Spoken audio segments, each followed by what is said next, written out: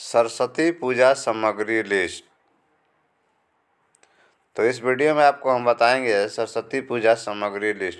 सरस्वती पूजा में कौन कौन से सामान की मतलब आवश्यकता है? सरस्वती पूजा सामग्री। सबसे पहले आपको ज़रूरत है सरस्वती माँ की मूर्ति। इसके लिए आपको पहले ऑर्डर देना होता है या उस दिन भी मिल जाता है।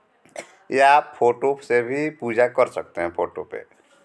पंचामृत या पवित्र जल, फूल विशेषकर पीले फूल जैसे गेंदा हो गया फूल माला या गेंद के फूल की माला, प्रसाद।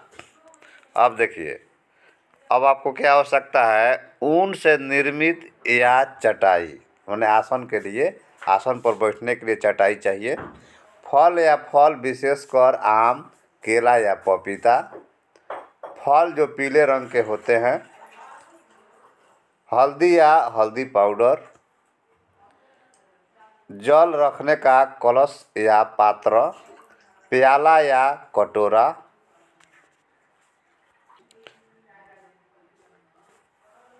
साफ़ लाल कपड़ा, शंख, अगरबत्ती या धूपबत्ती, अक्षत या चावल अष्टगंध या सुगंधित संतरे का पाउडर।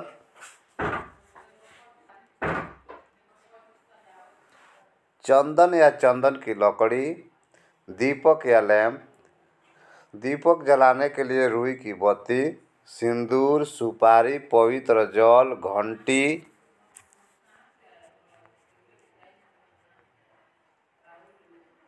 घिया, मक्खन, गुड़।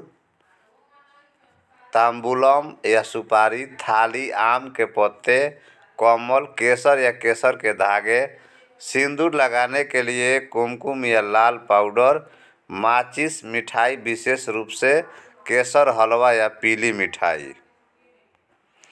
बसंत पंचमी पर हवन सामग्री देखिए क्या चाहिए।